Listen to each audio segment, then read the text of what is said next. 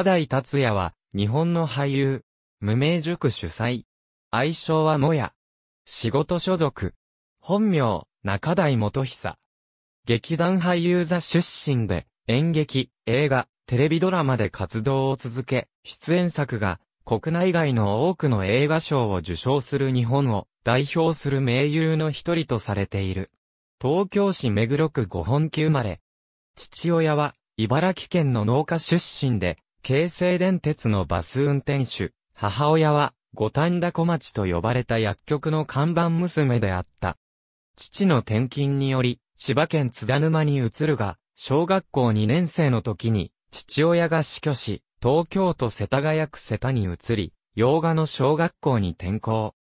やがて一家で、青山の弁護士事務所の留守番をすることになったため、青山の西南小学校に転校するも、一家は極貧状態で弁当のおかずもなく、母親は、教師から、ここは、あなた方のような貧乏人が来る学校ではないと、罵られたという。戦時中は母を青山に残したまま、調布市仙川の寺に疎開。1945年4月、小学校を卒業して、青山に引き上げると、母が、住み込み先の弁護士の妾となり、弟を産んでいた。この弁護士が、中大母子のために、渋谷に家を借りたのでここに住んだが、空襲にあって、世田谷区千歳烏山に移る。1945年、青山の弁護士の弟が教頭を務める、東京都立北豊島工業学校に入学するが、空襲が激しいため通学を断念し、ここを中退して、東京都立重機工業学校を卒業、敗戦を迎える。学生改革の後、親戚や弟と共に、ポン菓子や中華そば製麺所を起こし、世田谷区立烏山中学校の用務員なども務めながら、東京都立千歳高等学校定時制卒業。高校卒業後、定職につけず、大井競馬場で観察を持たない、違法な予想屋を取り締まる、警備員をしたり、学歴不問ということで、ボクシングの3回戦ボーイの職にありつくなどをしながら、映画館、芝居見物に通う。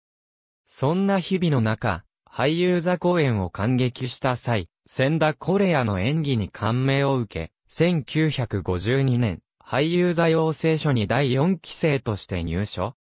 同期生には、佐藤慶、佐藤誠、中谷一郎、宇津井健らがいた。なお、このうち、佐藤誠、中台、中谷の3人は、後年、岡本喜八監督作品の常連として、喜八一家と呼ばれるようになり、佐藤慶も2本の岡本作品に出演している。同期生の中で新東方に入社した宇津井とのみ、仕事上やや疎遠になったが、宇津井とは、性格が違ったものの仲が良く、映画、七人の侍では、共に浪人役のエキストラとして共演している。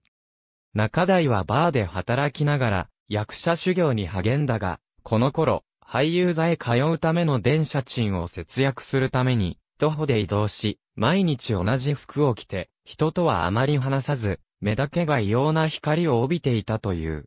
養成所時代に、七人の侍で、セリフなしの浪人役を務めて、映画デビュー。養成所から仕出しで派遣された、数秒間のエキストラ出演で、本来は出演作にカウントすべきものではないが、この出演で時代劇の歩き方ができなかった中台は監督、黒沢明を苛立たせ、俳優座では歩き方も教えないのかと罵られ、ワンカットに朝の9時から午後3時までの半日がかりの撮影となってしまい、最終的に、いいや、OK となった。黒沢はこのことをすぐ忘れたらしいが、中台にとって強烈な思い出となり、これが映画俳優、中台のスタートとしてしばしば引き合いに出されることとなった。1955年、養成所を卒業、俳優座に入団した。芸名の達也は、伊手座生まれにちなんで、敵に達する矢のごとくと、イボアネが命名した。同年秋の公演、幽霊で抜擢された。この幽霊を見た女優、月給夢二の推薦で、月給の夫である映画監督、井上梅二から依頼が舞い込み、映画、火の鳥で月給の相手役という大役を務め、映画でも本格デビューを果たす。翌年には映画、黒い川における、冷酷なヤクザ、通称人切り、ジョーの演技でも存在感を示す。1957年、俳優座所属の女優、宮崎京子と結婚。映画会社大手5社すべてから様々な好条件を提示され、専属俳優にと望まれたが、舞台へのこだわり等から、結局どの会社とも専属契約を締結せず、フリーランスの道を歩み続けた。この背景もあって、原則として1年の半分は演劇と定めることができ、五社協定に縛られることなく、映画出演の機会に恵まれた。1959年から1961年まで6部で、総上映時間が約10時間の人間の条件で、主人公、家事に起用される。撮影が1年半に及んだ、この作品で、中台は監督の小林正樹も感服する演技を見せた。同年には、犯罪者に扮した野獣しすべしも公開。東方では、三船敏郎に対抗できる、仇役俳優として、用心棒の監督、黒沢明から出演依頼を受ける。七人の侍出演時に、黒沢から散々 NG を出された記憶もあって、立派な役者になって、二度と黒沢組には出ないと心に決めていた中台は当初出演をきっぱりと誇示したが、黒沢本人に呼び出されて説得されたため出演することにし、シャレ者だが残忍なヤクザを演じる。翌年の椿三十郎でも続けて起用され、今度は再び悪役ながらも強直な武士を演じ、中台の風格と演技力を買った黒沢の期待に応えた。1963年には、天国と地獄で、誘拐事件の捜査を指揮する、警部役を演じ、犯人との掃除すら感じさせる、異常な執念に個性を発揮した。他映画では、鍵、娘、妻、母、女が階段を登るとき、切腹、階段、上優地配慮妻始末、優秀平野、四谷階段、大菩薩峠、殺人教時代などに出演した。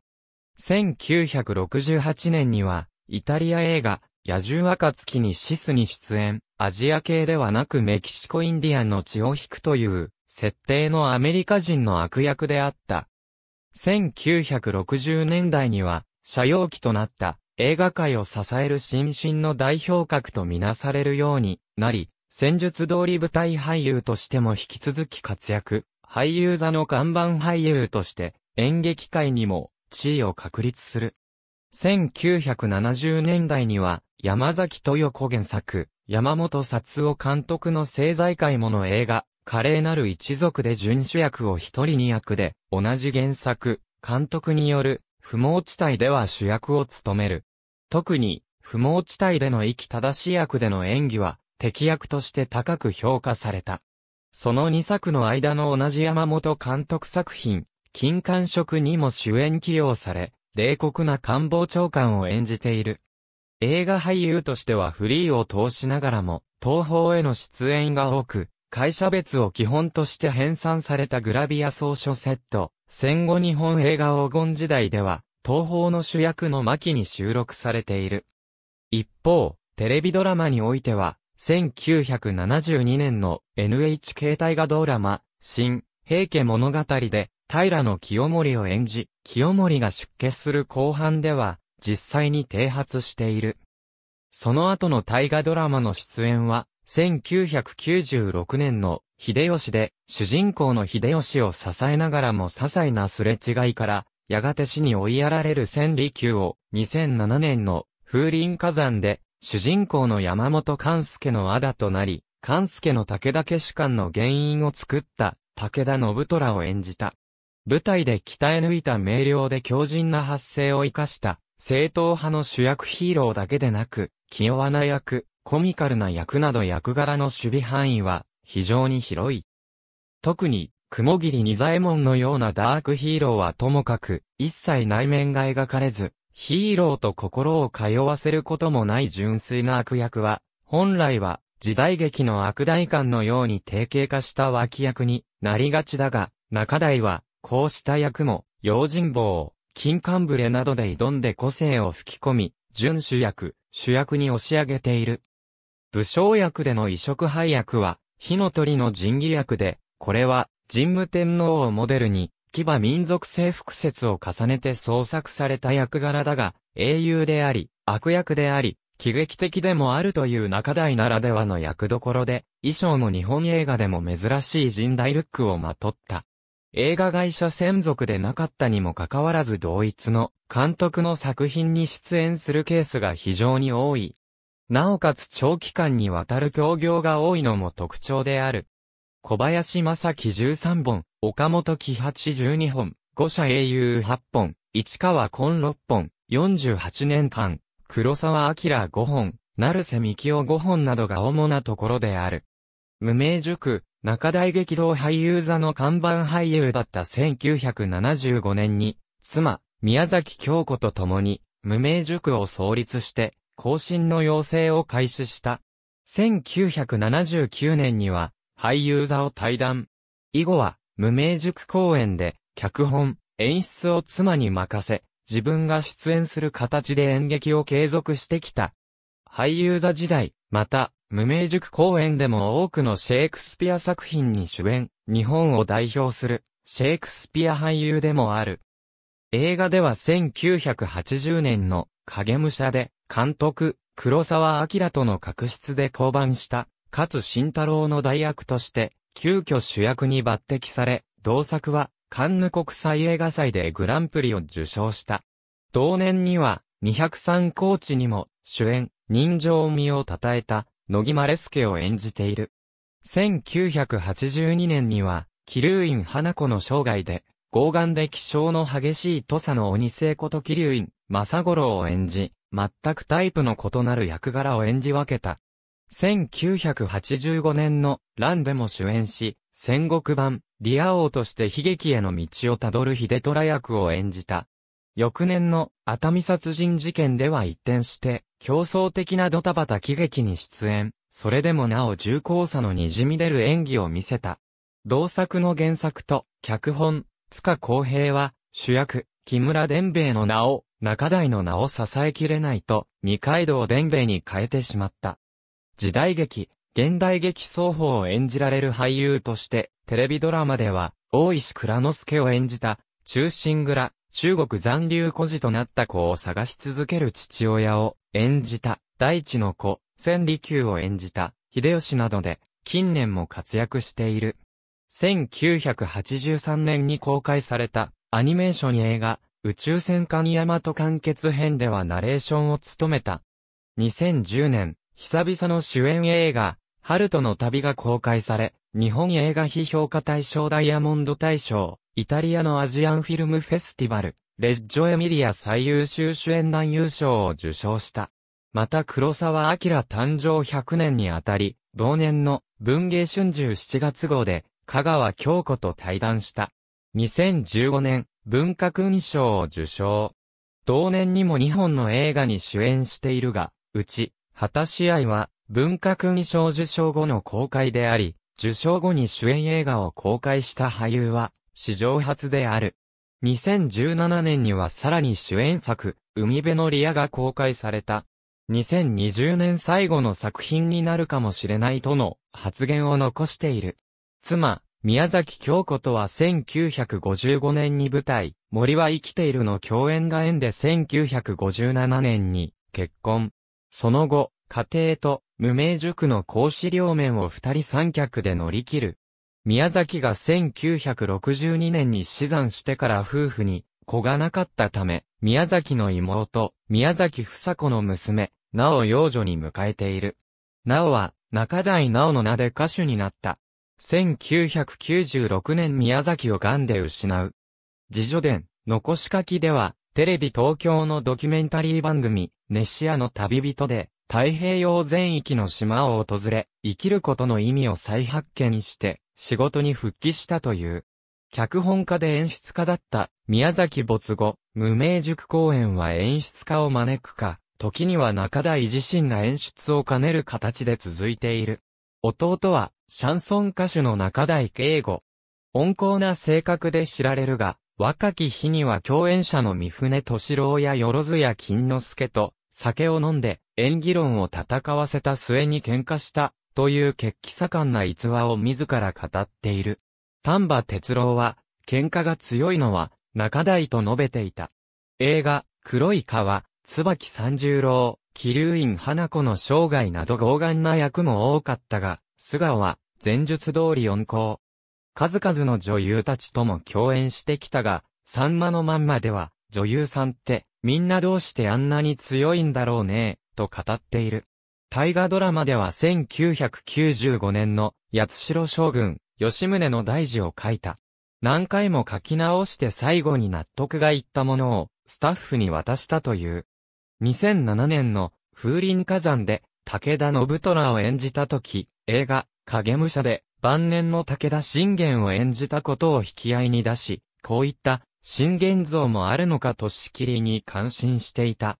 勝ちプロ制作の映画にも出演しており、その際、勝慎太郎からは、毎晩ごちそうになったそうで、中台は勝ちを、派手で面白い人物と語る。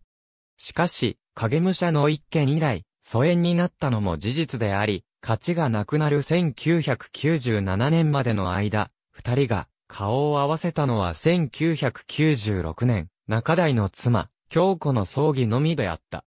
価値の影武者交番理由について、中台は、真相はわからないとしているが、映画評論家たちの価値の方が良かったろうなという声に対しては、マサルさんが演じた影武者を見たわけじゃないだろう。と、俳優としてのプライドを覗かせた。その一方で、長谷川東博が描いた武田信玄の肖像画は、私のイメージじゃないと外見に関しては価値に分があったことを認める発言もしている。TBS ラジオ、大沢優里の悠々ワイドの投稿コーナー、お色気大賞では、時折、大沢優里が坂道代にせがまれて、中台の声色で色艶話を披露していた。